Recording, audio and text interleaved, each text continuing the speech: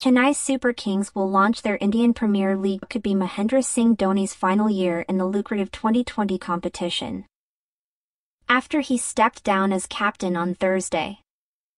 Dhoni played his last international in 2019 but remains one of the country's most popular players and while the 42-year-old showed some signs of slowing down last season he still helped Chennai to win a fifth title to match Mumbai Indians haul.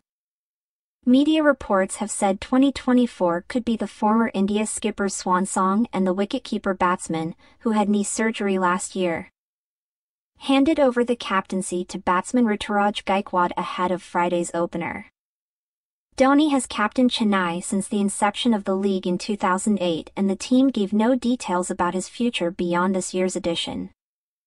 It was with a lot of consideration and one view to the future on the back of a good season last year, Chennai coach Stephen Fleming told reporters. The timing was good. Behind the scenes, Ruturaj and others have been on a, say, a captaincy grooming process, looking forward to days like this. But Dhoni is the best judge and he felt the time was right. Gaikwad had played 52 IPL matches for Chennai since 2019, the franchise said in a statement. While Chennai may soon have to prepare for life without their talisman, Mumbai made one of the most talked about preseason moves by signing Hardik Pandya to take over the captaincy from India teammate Rohit Sharma.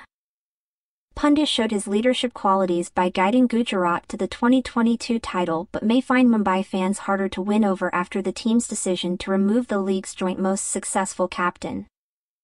From his role Having regained fitness after an ankle injury sustained at the 50 Overs World Cup in October, Pandya will also look to hit form before the T20 World Cup which will be staged in West Indies and the United States from June.